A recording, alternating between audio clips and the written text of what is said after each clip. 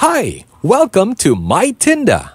Now, we will show you what Courier Options is and how to set it up. Courier Options are simply the seller's shipping partners and can only be chosen by shoppers if they are to pay using bank payments, mobile payments, or money transfer payment options. This is because these payments are designed for long distance transactions that needs a courier for the item to be delivered. Now, let's set the courier options under settings. Courier by simply adding the name of your authorized courier. You can also add an icon for your courier by clicking the Add button.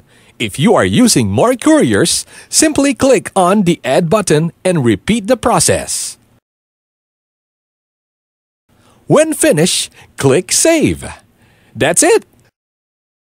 So whenever your shopper check out an item using any of your activated bank payments, mobile payments, or money transfer payments, a courier should be chosen.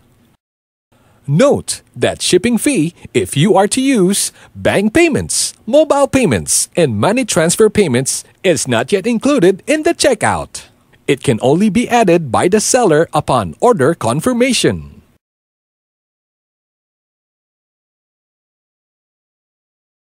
Try it. Set your courier options and make your business operation anywhere you want to.